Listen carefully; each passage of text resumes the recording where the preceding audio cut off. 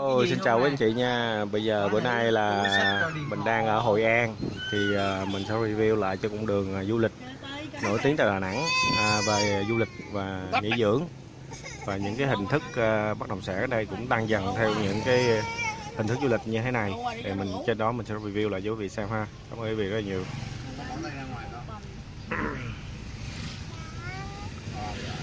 Đây đây là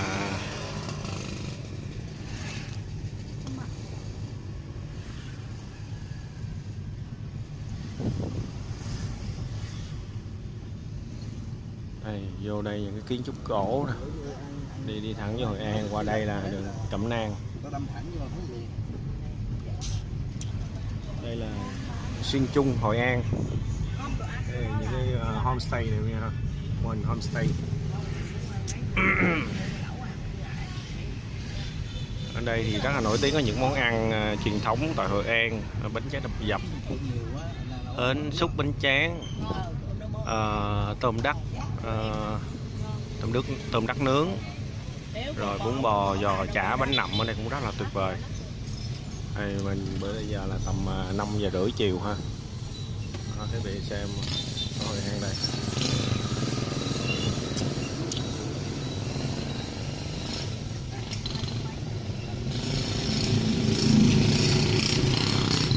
hiện giờ bất động sản tại đây thì uh, à, những một số điểm thì cũng rất là giá trị được tăng cao do được khai thác mô hình du lịch. Đi đôi đó là những cái mô hình à, về nghỉ dưỡng resort à, uh, condo hotel.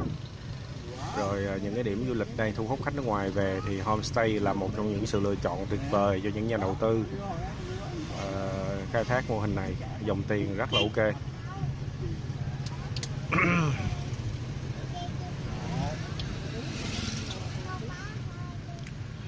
đây quý vị thấy khách tây ở đây rất là đông ha. À, và đây là mùa này là mùa gần tết thì uh, số khách du lịch nước ngoài uh, các nước châu âu và uh, hàng nhật ở đây rất thích đi du lịch tại hội an. Mùa này ít mùa hè là đi à, rất là đông để quý vị xem buổi tối này rất là đông nè ừ.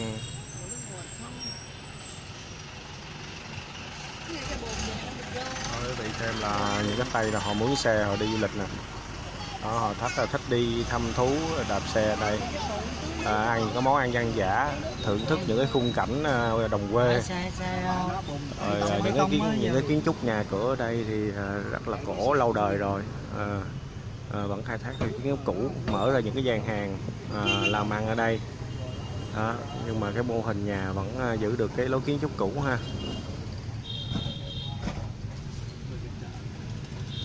ở đây cái nhà rất là đẹp nè.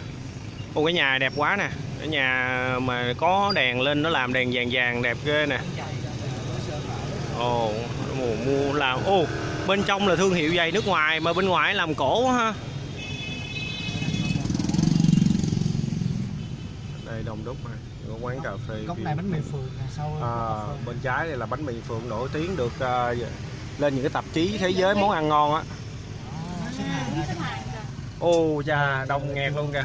Đó, người ta đứng xếp hàng, ta mua bánh mì phượng nè. Những cái tạp chí thế giới là được bầu chọn là về Hội An, có những cái món ăn ngon là trong đó bánh mì phượng được nổi tiếng ha. Món mì quảng cao lầu buổi tối, rồi những cái món bánh nậm, bánh tráng đập dập.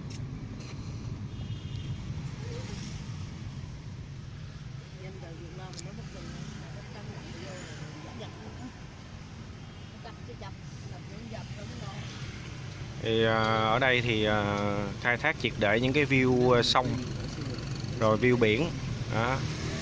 rồi view ruộng đó, những cái nơi dân dã những cái view đẹp để mà khai thác du lịch đây em đang đi ngang qua đây quý vị thấy là tất cả đều kiến trúc hồi xưa trước giải phóng đây là kiến trúc pháp ha viện kiểm soát nhân dân à, đây, đây. trường trung học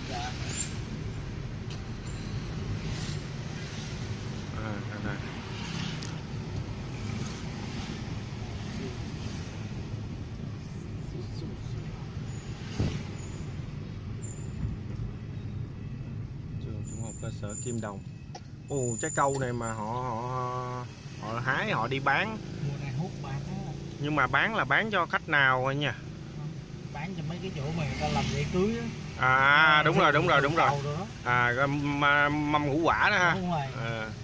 nhưng mà em hồi xưa hồi xưa là em thấy cái người Đài Loan á họ rất là thích ăn những cái cái quả trầu này họ nhập họ xuất qua bên Đài Loan á. Ờ, là Đài Loan là đặc đặc điểm của nó là thanh niên ông dài cũng đúng thích rồi, ăn hết.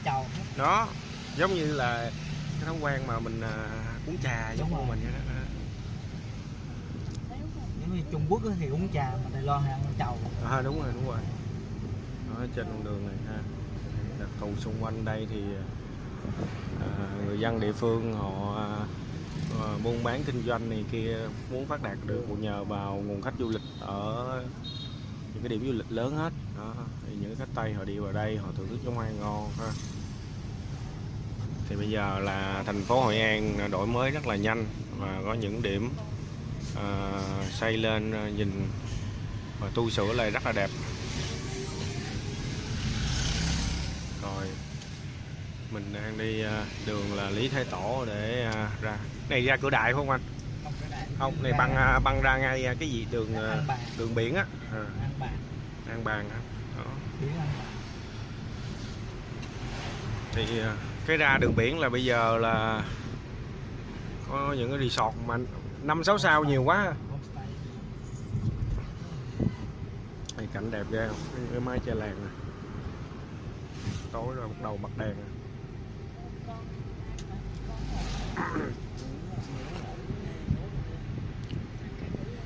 Đó, đi dọc đây.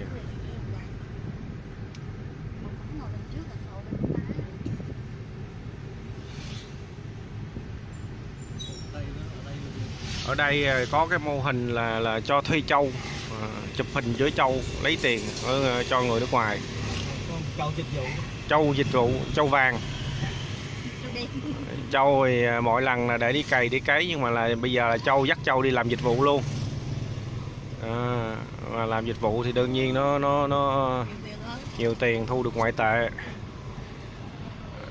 À, mấy bác tây vô nhìn kêu con này là con gì đó? À, con trâu lấy tiền thôi.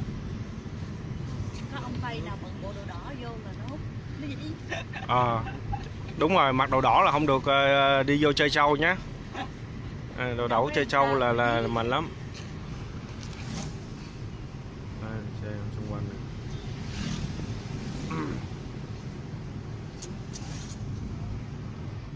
rồi cái khung cảnh quán cà phê nè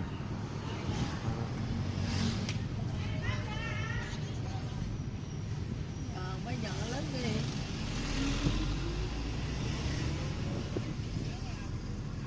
ở đây thì cái cái cái người à, cái người mà nước ngoài họ về đây họ đầu tư những khách sạn hoặc là những cái à, cái những cái điểm vui chơi ăn nhà hàng quán cà phê á mà họ đầu tư họ đầu tư bên trung tâm Hội An á gần sát Hội An chứ không phải ngoài đây ngoài đây là người dân rồi.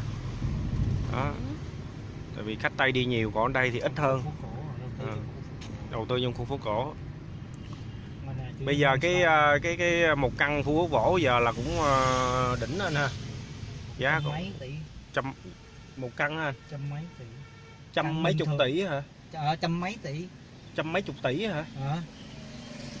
Cái đó thiệt giỡn ghê. Thiệt mà cái căn nhỏ không là là tám chín chục tỷ rồi. Ngang như dài nhiêu anh? Ngang, ngang khoảng 4 mét mà dài khoảng ờ, 15 mét thôi là đã 80 tỷ rồi. Wow. Nó thuộc cái dạng dạng như của Unico mà. Ờ đúng rồi đúng rồi. Rồi, nó Ờ, buôn có những bán. cái điểm ờ, đó mấy người ta mướn một cái một một tháng không là đã bốn năm ngàn đô rồi. Ờ. Có nghĩa là nó thứ nhất là khu đó là khu du lịch được UNESCO công nhận. Cái thứ hai là trên đó là mình cho thuê được và mình à, mình kinh doanh được luôn. Đúng rồi kinh doanh mà. Đó. kinh doanh thôi. Không có đụng đậy không có sửa chữa không có hết. sửa chữa được luôn. À, mà một căn trong đó là một trăm mấy chín mươi tỷ trăm mấy chục tỷ. Ví dụ như viên ngói nó bể thì Dạ. là phải làm cái đơn là Dạ. ở cái sở ở đây này sở dạng như địa chính ở đây này làm Dạ. cái đơn à, kết hợp với sở du lịch. À, đưa đơn lên cho UNESCO người ta duyệt là mới thay viên gạch đó. Trời ơi. Chứ không phải là muốn thay là thay. Ồ vậy là thấy à, vô đó mà muốn chỉnh sửa gì cũng khó quá ha. Ừ. mặc dù tới mùa mưa là lấy ghe bơi đó nhưng mà giá của nó không vậy đó. Chù. Đó vị xem là có những cái giá trị bất động sản ăn theo những cái điểm kinh doanh du lịch là cực kỳ khủng ha thì mình nghĩ đi ngang rồi mình nghe cái giá nó cũng hết hồn. Cái ờ, nhà mà cơm gà bờ mùi đó bề ngang nó bề ngang nó 7 mét. Dạ. Bề bề sâu nó có 7 mét vuông thôi á. Dạ. Mà đã là trăm mấy trăm hai chục tỷ rồi. Ôi da nghe mình nghe cái mình choáng luôn. Ờ. ồ vậy là mấy người mấy người chủ chủ mà mở shop đó họ thành giàu hết rồi? người ta người ta bởi dân ở đây người ta ngồi không mà tiền ở đâu mà chỉ là làm Tiếp đảm đó à? làm du lịch rồi ha. Trời trời mấy người đó họ, làm, họ lấy tiền mướn đó họ ra ngoài này làm mô hình homestay nè. à, homestay à, đúng rồi. Tiền để ra tiền thôi. Ừ. Đó bây giờ đâu bóp thì mình mình, đi Dạ. bóp mình mua thì hơi bên cạnh dạ. Đấy không có ai bán cái gì ở đó họ, họ có đó họ không bán. hái ra tiền mà. Giá trị quá họ giữ lại chứ không bán.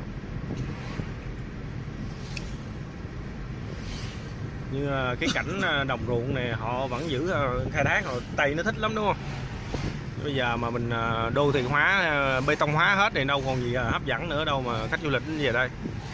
Nên có một số cái là thay đổi có một số cái Đúng như anh nói là cái ngói cũng không được thay là nhờ là lý do đó đó. nó phải thuộc cái hệ thống đó đúng rồi nên là giữ cái nét đó thì khách du lịch họ mới về chứ còn nếu mà thay đổi nhiều quá xây 4 năm tầng giống như nước ngoài thì thôi họ sẽ không về.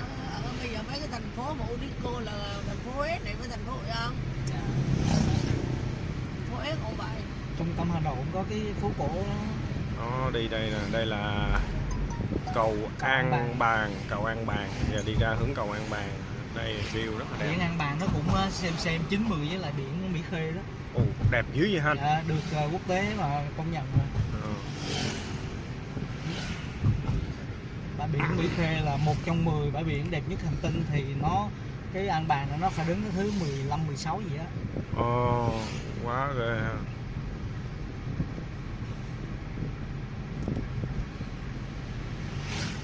thì ờ, nói chung quy ra thì nó cũng chung một cái bãi gì vậy nó trải À. dài từ Hội An ra tới Đà Nẵng thôi. Đúng rồi đúng rồi. À, nhưng mà nó con đường con đường du lịch mà. tên gọi đó, ờ. con đường du lịch mà một mặt là về. Hội An mặt kia về Sơn Trà ở giữa là thành phố Đà Nẵng.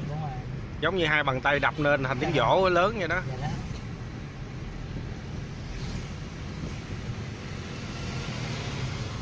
Nhưng mà nó thật đó địa hình địa thế của Đà Nẵng này nó có biển đẹp có núi rồi ờ, có những cái công nhận của UNESCO ờ, làm sao mà Đà Nẵng không phát triển lên được. Rồi, rồi cảm ơn quý vị đã theo dõi nha. Vui lòng đăng ký like và share nhé. Cảm ơn quý vị.